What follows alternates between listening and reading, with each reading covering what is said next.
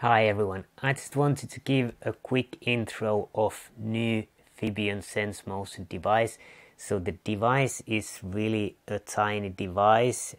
It's really, really thin one. It's fully waterproof. It only weighs 7 grams. So really handy device and it comes pre-charged.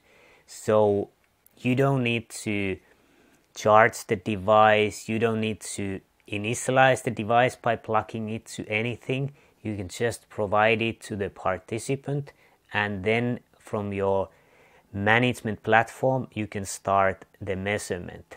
And it also comes with the practical patch. So basically the device just goes inside the patch and you attach it to the thigh.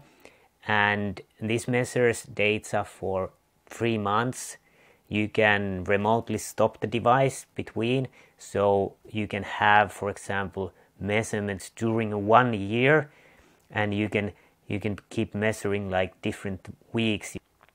So you can stop the device remotely uh, sometimes so for example you can just give the device for one year for a participant and then ask them to wear and remotely start the measurement. So you can collect 15 weeks of data with one logistics. You don't need to take care of charging it or anything. It's a waterproof device. You just provide enough of these patches that participant can attach the device.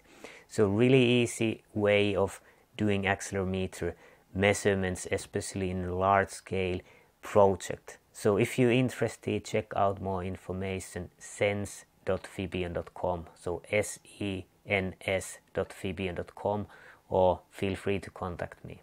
Thanks for watching.